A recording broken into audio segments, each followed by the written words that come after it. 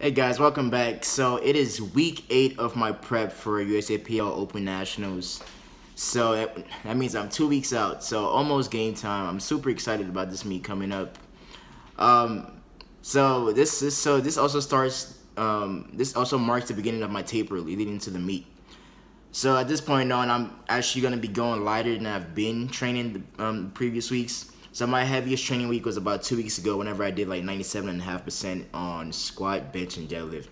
This week I'm going to be dropping it down to about 90, 92.5. It's going to be the heaviest I'm going to go, and it's going to continue to decrease leading up to the meet.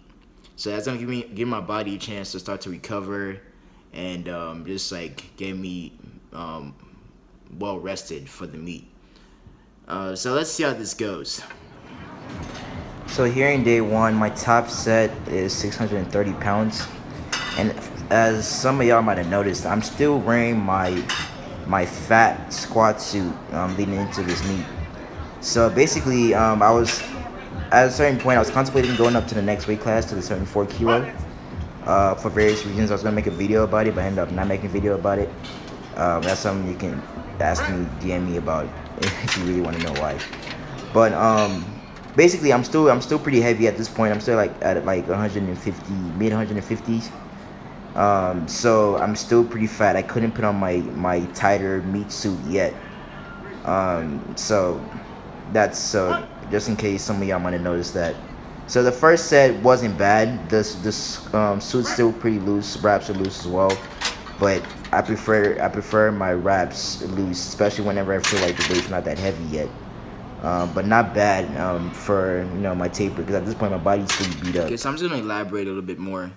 So typically you want your squat suit being as tight as possible because basically the tighter it is, the more assistance you get from your suit and from your equipment. But me personally, I prefer to have to not have my my gear too tight because then at that point it basically throws me out of my normal groove.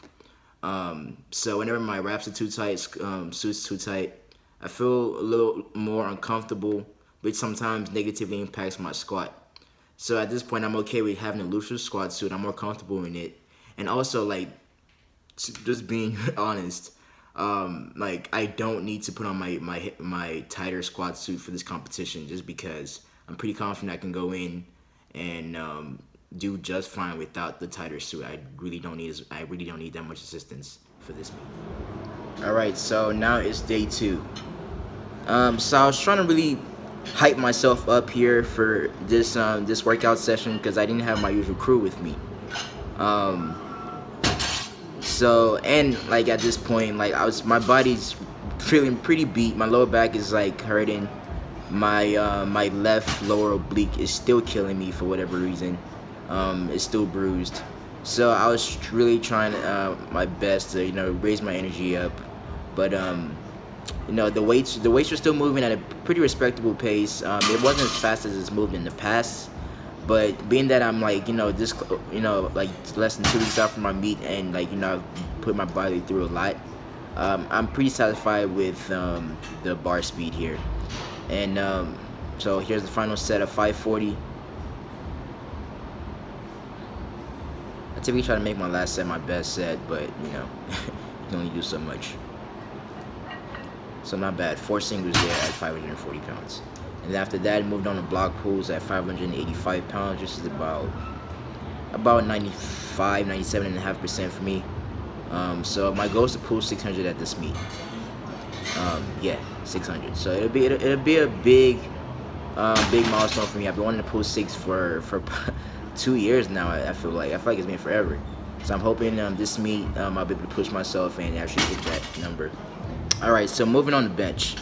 So the last time I got in my bench shirt was just a complete disaster. Um, I, I failed each rep on my each set um, of my top sets at 430, 440 pounds, and I dropped it down to 430, and I still missed it. But I was trying on my new shirt for the first time um, when that happened, so that definitely like threw me off. The shirt was way too tight for me to try to touch my chest on the very first day of wearing it. So I basically went back to my old um, my old looser bench shirt, and um, I was able to touch to my chest. So I was able to get some good clean sets in, and basically get my confidence back up in my bench. Um, So those are my my top sets, and then uh, moving on to some two board press at 400 and let's see. Uh, I think it was about 440. Yeah, 440 for my board press. Uh, it's probably gonna be like my heaviest attempt at the meet because I'm only intending on doing about two attempts on squat, two attempts on bench, and probably all three attempts on deadlift. Thursday night, I got to go out and um, support one, the, one, a good friend of mine, um, Simon Allo. He was having his very first concert, so um, I had to go out and show him some love, show him some support. So if you guys never heard of him before, go ahead and check out Class Jackson on Facebook, Instagram, YouTube, Spotify, just whatever. Follow this man, guys. He has a lot of talent, and um, just it'd be it'd be fun to watch him grow.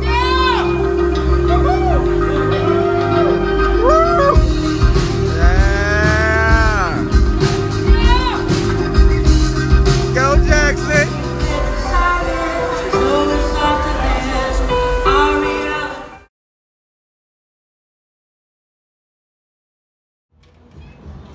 Alright, so this is day three. Um, I actually don't have a lot of footage for day three because I had somebody else recording my videos. But um, basically, I did um, squats at 455 pounds for singles, then bench 305, um, front squats to 320 pounds for triples, and that basically kind of sums up um, day three here. Um, sorry, I wasn't able to capture. I wasn't able to have most of the, most of the footage myself, um, but I might be able to release some of those later on. All right, so it's day four of training. I had another one of my late night workout sessions. I got to the gym at about 12:30 a.m. on Sunday morning or Saturday night, however you want to call it. Um, so did uh, 275 pounds there for um, bench, and I did some block pulls at 510 pounds. Uh, block pulls move um, pretty well, and um, so my my my lower oblique is still hurting um, which is ridiculous. It's been like two weeks or over two weeks at this point. So I'm not sure what's really going on with that I still can't fully tighten my belts without putting myself under a lot of pain. Um, so I'm just rolling with it. I'm hoping by meet day it's it sorts itself out. If not, I'm just gonna have to take some ibuprofen and just tough it out at the meet. Um, so after board presses, I mean after block pulls, did some board presses at 345 pounds and then wrapped up my workout with um, deficit deadlifts at 390 pounds. So not bad there, despite you know having a loose belt in my lower back um, hurting. Um, but that's all, guys. Hope you guys enjoyed the workout. See you guys next time.